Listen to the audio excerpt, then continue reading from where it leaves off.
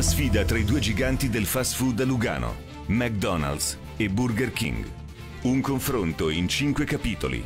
Prezzo, Quale doppio cheeseburger ti è piaciuto di più? gusto, Là era semplicemente più gustoso, meno unto. igiene, Due vassoi hanno rilevato batteri che sono di origine fecale. salute Rimane un po' ambiguo se eh, è solo il fornitore che è svizzero, se anche il prodotto è anche quello svizzero. efficienza. Sono fiducioso che riuscirò a ottenere le patatine senza sale.